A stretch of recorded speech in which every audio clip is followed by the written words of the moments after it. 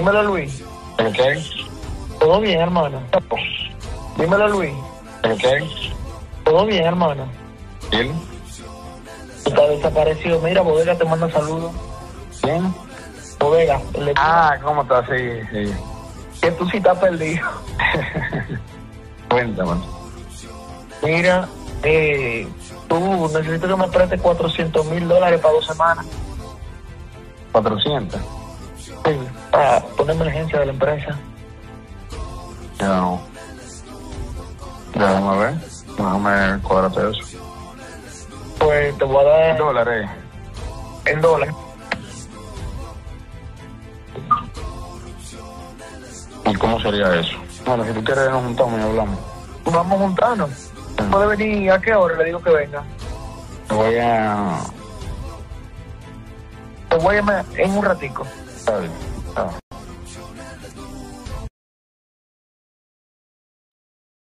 Y ahí hay mucha suspicacia porque él pide 400 mil dólares y 400 mil dólares. El pequeño responde como, como si no fueran dólares, como si fuera otra cosa. Pero ok, señor director, colóqueme los documentos que tenemos de esta conversación. Esto es una conversación que fue grabada en ese expediente.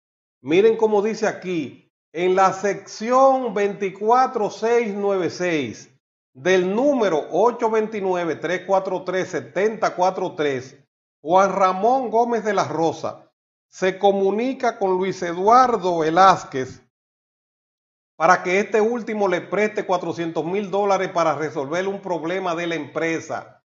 Y aquí nosotros vemos a Juan Ramón Gómez de la Rosa, que nació el 25 de febrero de 1991 en Manhattan, New York, en Estados Unidos, y cuya cédula es 001-190-1934-7. Tiene apenas 28 años, 8 meses en el momento de la grabación. Me imagino que de- debe andar rondando ya los 30 años.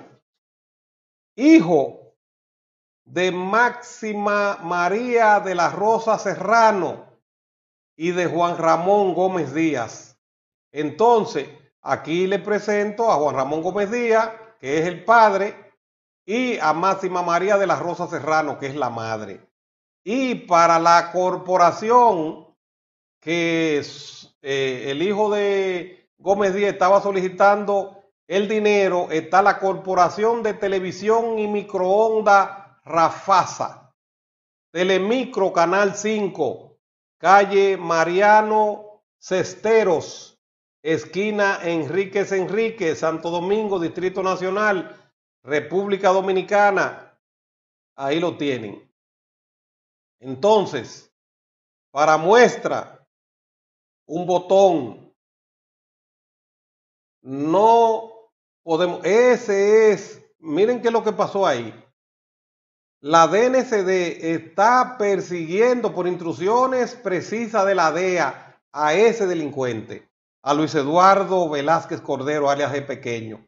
Y le tienen intervenido con una orden judicial sus teléfonos, diferentes teléfonos que ya yo en las entregas anteriores le mostré los teléfonos que le estaban grabando a, al pequeño y a Fido, su mano derecha. Y entonces, ¿qué resulta? Que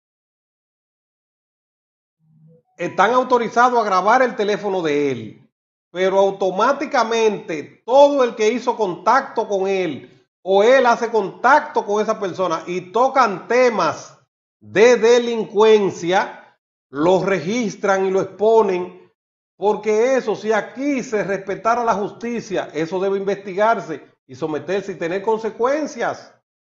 Tener consecuencias.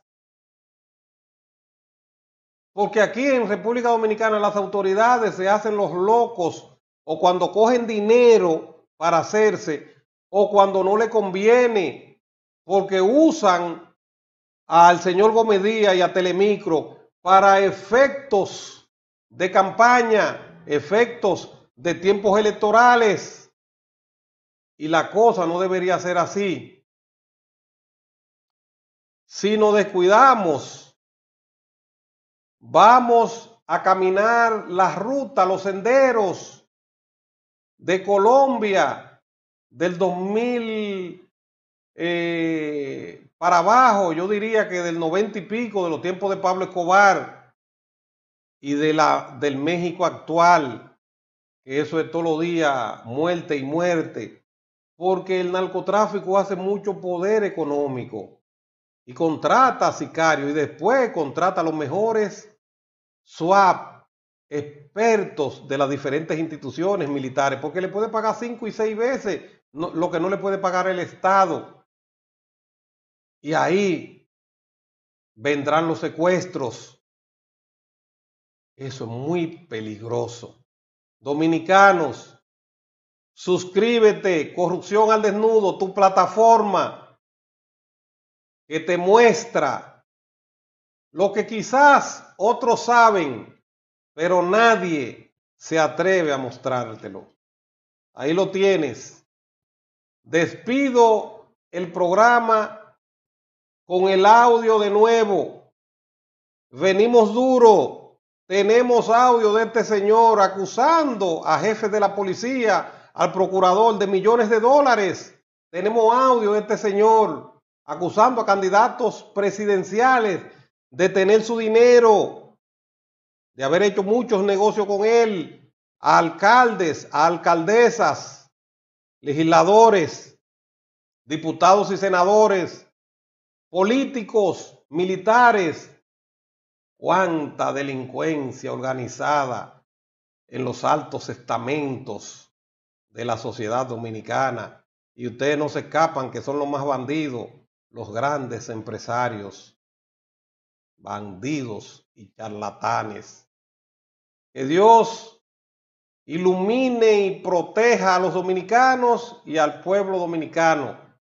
Que los dominicanos de la diáspora se enteren que en la República Dominicana los empresarios hacen acuerdos y no de aposento con el crimen organizado y que el Estado no hace nada, aún sabiéndolo.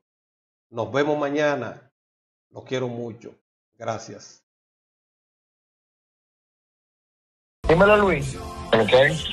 Todo bien, hermano. Dímelo, Luis.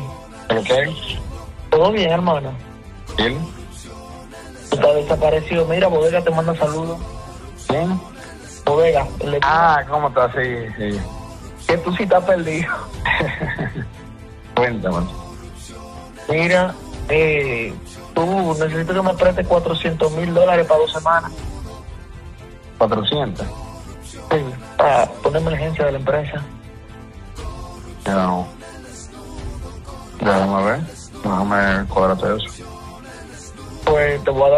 Dólares. En dólares. ¿Y cómo sería eso? Bueno, si tú quieres nos juntamos y hablamos. Vamos a juntarnos. ¿Puede venir a qué hora? Le digo que venga. Te voy a... Te voy a llamar en un ratico. Está bien. Está bien.